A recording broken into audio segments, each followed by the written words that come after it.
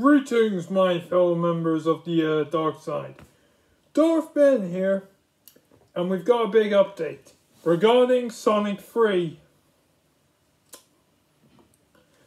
So, apparently, on December 20th, 2024, that's the date when it's going to be released.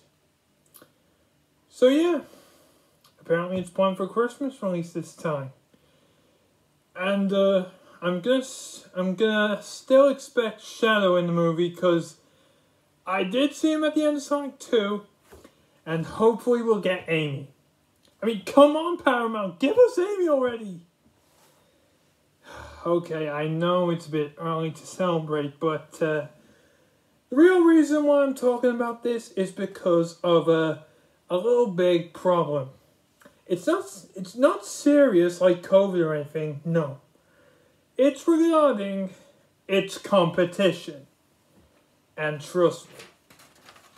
Do you know do you know um a certain film franchise that is popular is gonna have a sequel this year and will make lots of money like the original? Don't know? Because um apparently Sonic 3's competition is Avatar 3. Meaning, yes, that's what they're gonna face in that uh, in that um, year. So yeah, it looks like Sonic, Tails, Knuckles, and Shadow are up against Jake Sully, James Cameron, and that's it.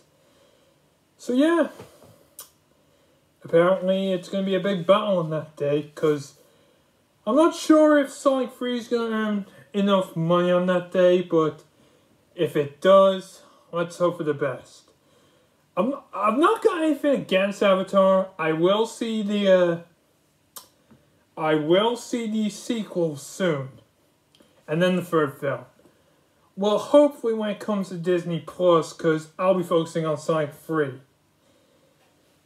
Either way, let's hope these films do good once they're released in two years' time. I'm Darth Ben. That's a little update. See you in the next vid, my fellow members of the dark side.